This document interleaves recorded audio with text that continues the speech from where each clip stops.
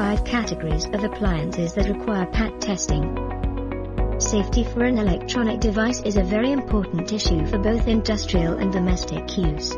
But all devices don't require PAT tests. All types of electronics can pose a threat to human health and safety. So the term portable appliance may seem misleading in some cases. Watch this video to know the 5 types of devices that require the PAT test. A fixed appliance is an electrical appliance that is connected to the electricity supply.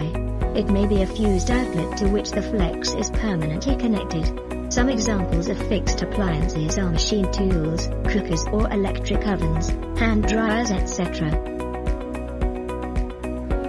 These are those appliances that cannot be easily moved from one place to another. Refrigerators, window air conditioner, washing machines are some common stationary appliances that we use every day.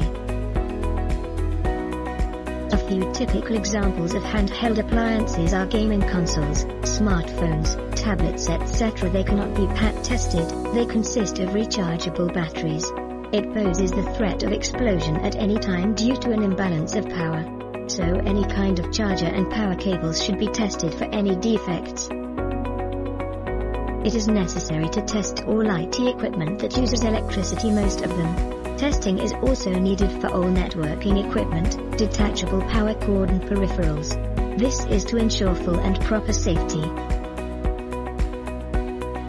A portable appliance is an appliance that can be moved from one place to another.